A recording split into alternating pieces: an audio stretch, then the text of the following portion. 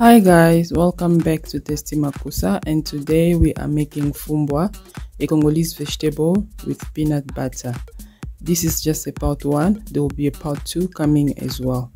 Please don't forget to like the video, subscribe and share to your family and friends and also let me know of your thought regarding the video. For the fumbwa today, I have one bell pepper, one onion, one prawn cube, two fresh tomatoes, um, I have tomato paste.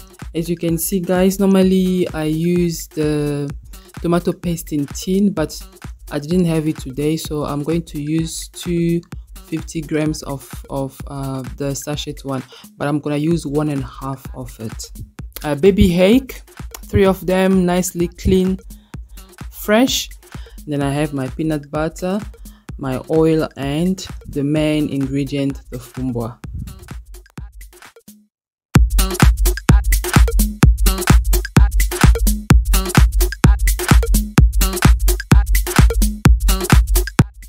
Now guys, this is optional. I like boiling my fumbwa first before um, start cooking it.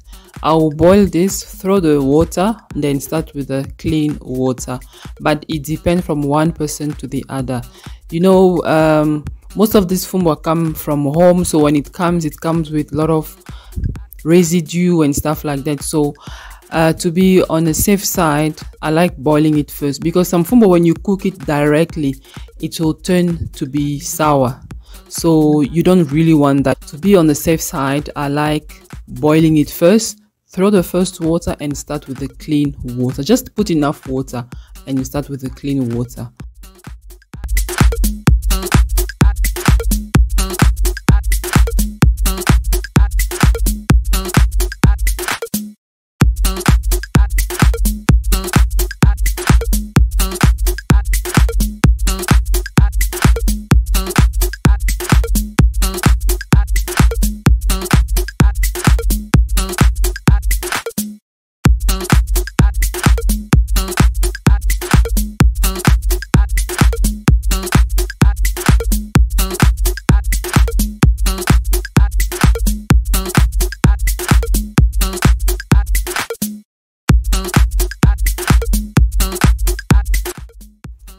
Guys remember i boiled the fish. I'm gonna use that water to cook uh, the fumbwa mash the fish and put inside the fumbwa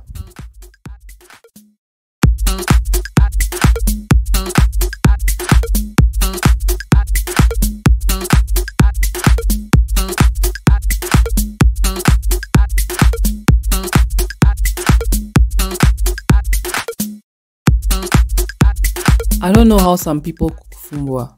The secret of fumbwa is in peanut butter. If you want your fumbwa to be fumbwalicious, guys, add more peanut butter because fumbwa is about peanut butter. Personally, I like my fumbwa to drown in peanut butter. That's how I like it. So fumbwa without peanut butter, it just leaves.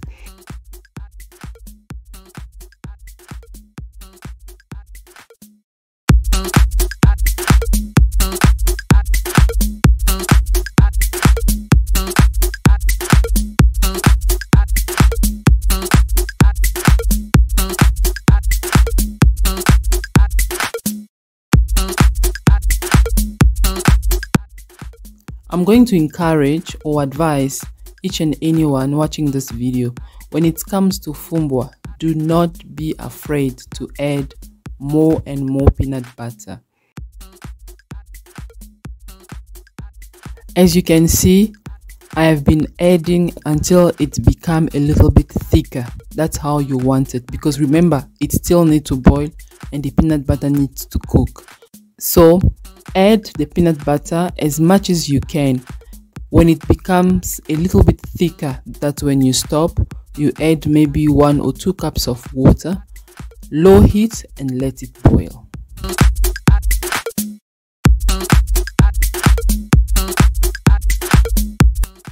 Just one of my tips, how I check that my peanut butter is enough. I normally check it at the back of my wooden spoon when it sticks, then I'll know that the peanut butter is enough. No more adding.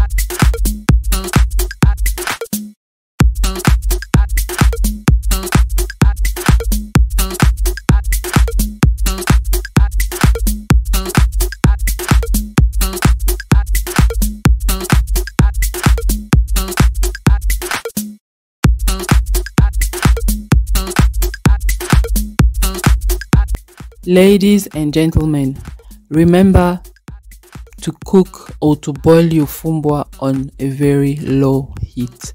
You want the peanut butter to cook and you do not want it to burn at the same time. So put it on very low heat and forget about it. Let it cook until it is done. When do you know that your fumbwa it is done? When the water reduces and the oil is floating above.